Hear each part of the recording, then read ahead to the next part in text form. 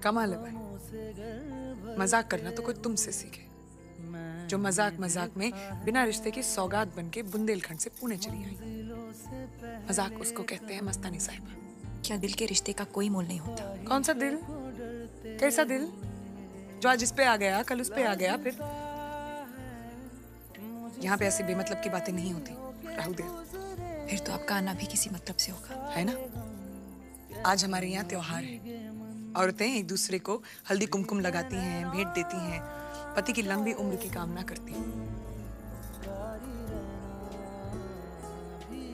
जितना बुरा भला हमें कहना था, हमने कह दिया।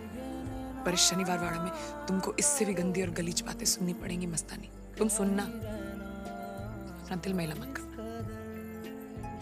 राव को तुम्हारी ज़रूरत है।